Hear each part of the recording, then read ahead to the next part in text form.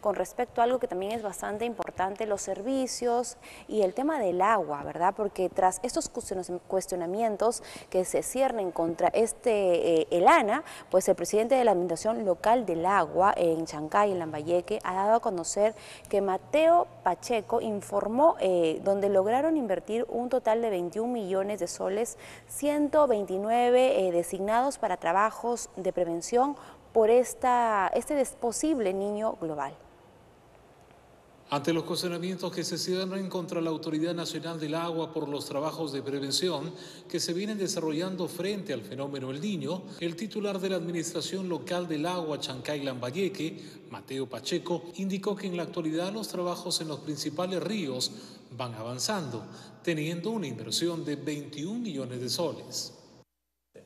129 eh, millones aproximadamente es la inversión que se tiene. ¿De esos 129 cuántos se han ejecutado ya hasta A la fecha tenemos más de 21 millones ejecutados en cada uno de esos. En cuanto a avance físico de los 72 puntos críticos.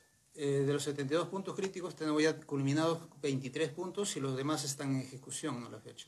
Minimizando los cuestionamientos que recaen contra la mencionada entidad por parte de la Contraloría de la República, Gobierno Regional y otras instituciones, el funcionario afirmó que de los 72 puntos críticos en la actualidad han avanzado 23 puntos.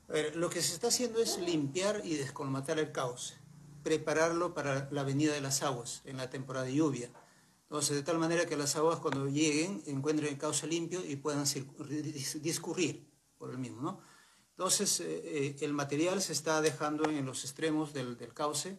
Eh, hay que aclarar que no son obras, son actividades.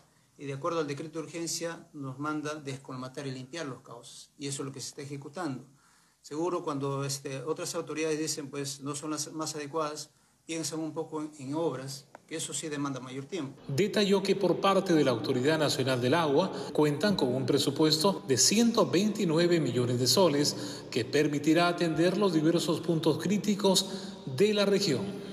Eso es lo que tenemos proyectado y esperamos que así sea, por eso estamos incidiendo en que las empresas que están trabajando en los puntos críticos aceleran los trabajos incluso a doble turno y con mayor cantidad de maquinaria. Ahora, ustedes están pidiendo que se acelere, pero también se ha denunciado falta de pago de algunos contratistas, lo mencionó el Contralor en su momento.